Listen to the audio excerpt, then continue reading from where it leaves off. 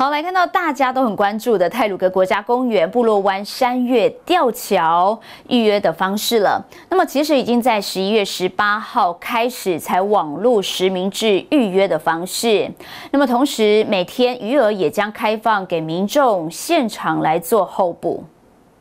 泰鲁格国家公园管理处表示，山岳吊桥今年八月十二号试行开放，每天四场次，每场开放两百五十人，每天总共有一千人入场，采取网络预约方式。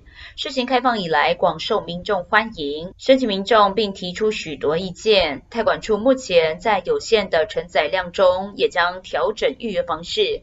从十一月十八号开始改采网络实名制，并将每场次多余的名额释出，开放现场民众候补入场。你们，现场报名比较方便啊。像我们如果在临时起意来花莲要过来，哇，他们没开放啊，他这样就不开放，他说也不开放现场报名了。